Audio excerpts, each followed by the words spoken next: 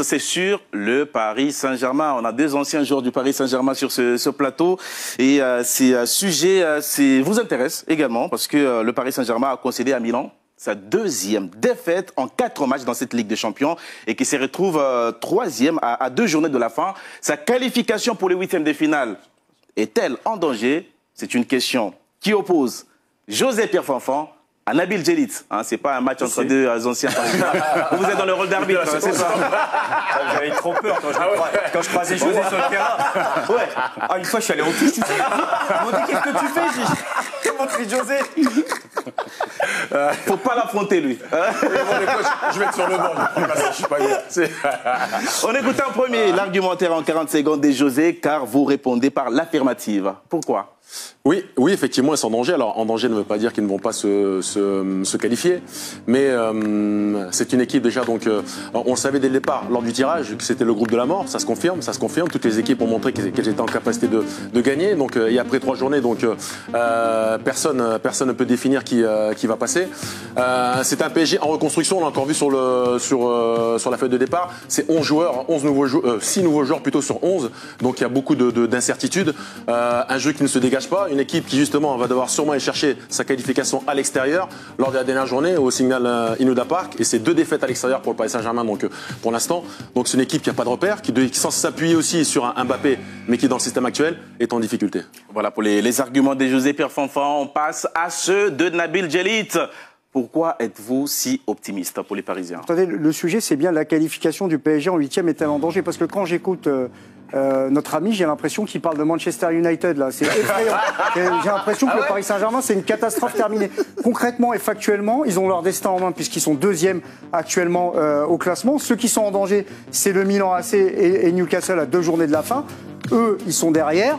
Je rappelle que le Paris Saint-Germain jusqu'à présent, à présent, et c'est ma conviction profonde, fait le plein à domicile et je vois pas Newcastle venir mettre le Paris Saint-Germain en danger à domicile. Dortmund, on a vu aussi que c'était pas une équipe si effrayante que ça. Elle en a ramassé 3 ou 4 face au Bayern de Munich. Et moi, je pense que le Paris Saint-Germain va pas forcément perdre du côté euh, de Dortmund. Donc moi, je pense que le Paris Saint-Germain n'est pas en danger. Fin de ce premier bouche à bouche. Dans le rôle d'arbitre ce soir, Vikash Dorasso et Fousseni à Diawara.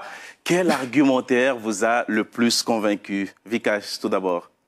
Euh, moi, je pense qu'elle est en danger. Hmm. Parce que Désolé, Nabil. Ah non, non, mais. je, non, mais je. C'est la théorie du danger, quoi. Le, problème, c'est que Paris ne gagne pas à l'extérieur. Donc, euh, alors déjà, il y a un vrai sujet. Et euh, alors quand l'intensité augmente et à l'extérieur.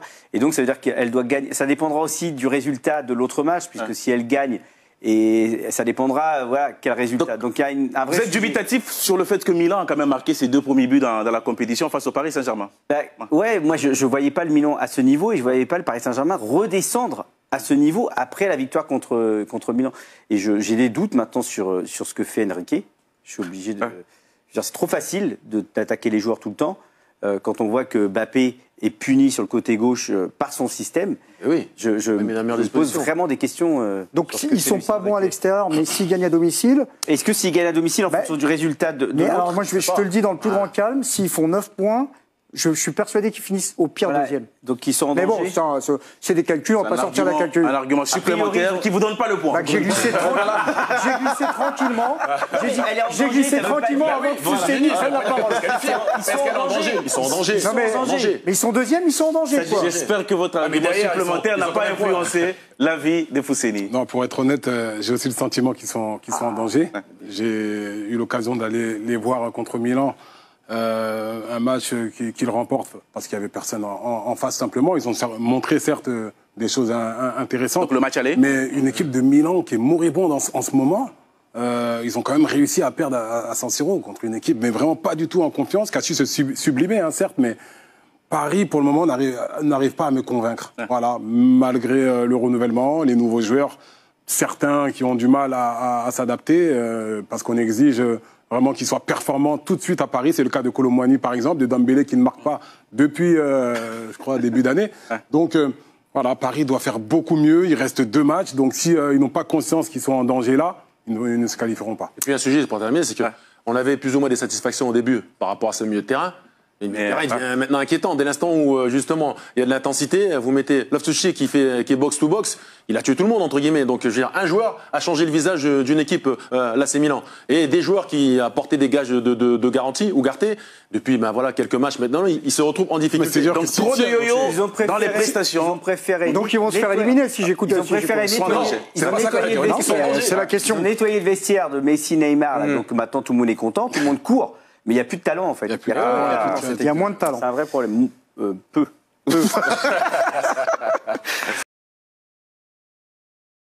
Beaucoup de personnes estiment que le PSG n'est pas en danger en Ligue des Champions.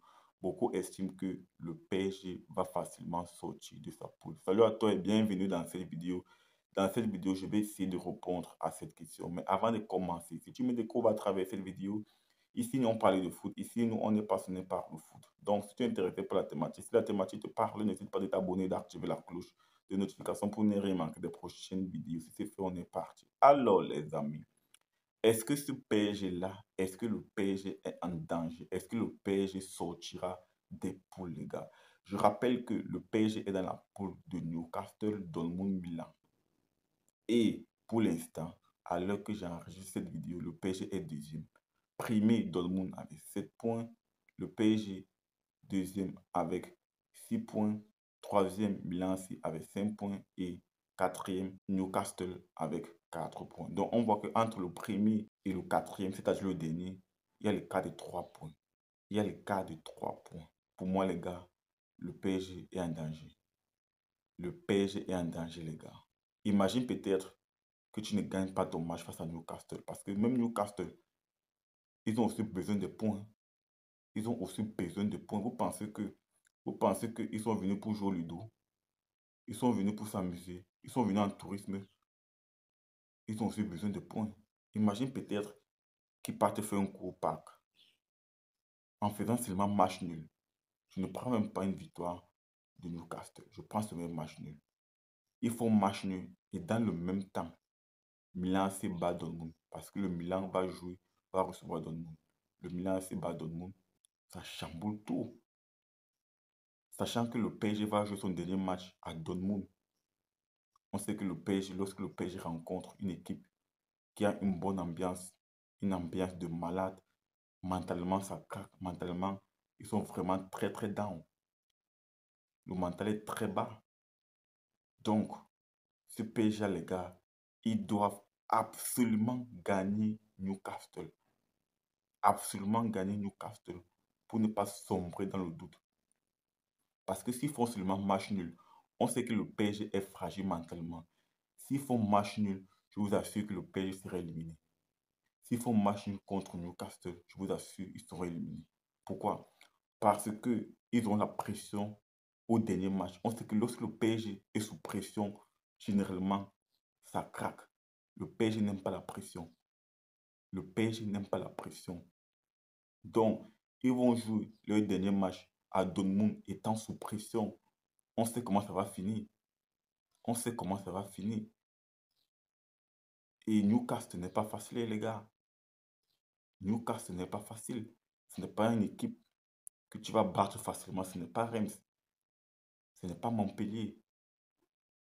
C'est une équipe très difficile à battre. Très, très. C'est une équipe qui te rentre dedans.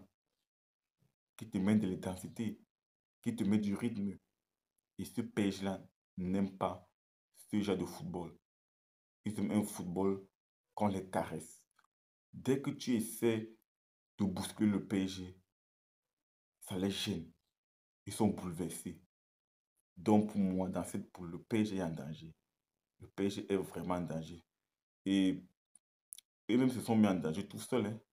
C'est inadmissible que tu sais bien que tu joues face à un concurrent direct comme le Milan AC et tu perds. Tu perds en ayant ouvert la marque. C'est le PSG qui a ouvert la marque. Pas l'intermédiaire de Skriniar. Tu perds ce match en ayant ouvert la marque. Donc, si tu es éliminé, tu ne peux que t'en prendre à toi-même. C'est toi le problème. Donc, euh, le PSG, les amis, ils sont vraiment en danger. Ils doivent absolument battre cette équipe de Newcastle s'ils veulent espérer, s'ils ne veulent pas plonger dans le doute. On sait que lorsque le PSG est dans le doute, franchement, ça tourne généralement mal. Ça tourne généralement mal. Donc, euh, on espère, moi j'espère voir le PSG se qualifier. Même comme moi, je ne suis pas fan du PSG du tout. Je ne suis pas fan du PSG, mais moi j'espère le voir se qualifier. Parce que moi, je veux au moins voir un club français en huitième de finale. Parce que ça sera très compliqué pour Lens de se qualifier. Lens aussi s'est mis dans les problèmes. Donc, euh, je veux au moins voir un club français en huitième de finale. Donc, moi, je souhaite voir le PSG en huitième de finale. Après, ça sera très compliqué. Ça sera très compliqué parce que le PSG s'est mis dans les problèmes seul. Il suffit de faire match contre le Milan pour être en bonne position. Ils ont complètement relancé le Milan C. Donc, partage-moi ton ressenti en commentaire sur la thématique. Est-ce que tu penses que le PSG est en danger ou pas? Dis-moi tout. Et si ce n'est pas encore fait, n'hésite pas à t'abonner, d'activer la cloche de notification pour ne rien manquer des prochaines vidéos. Je vous dis à très bientôt pour notre vidéo, les amis. Ciao, ciao.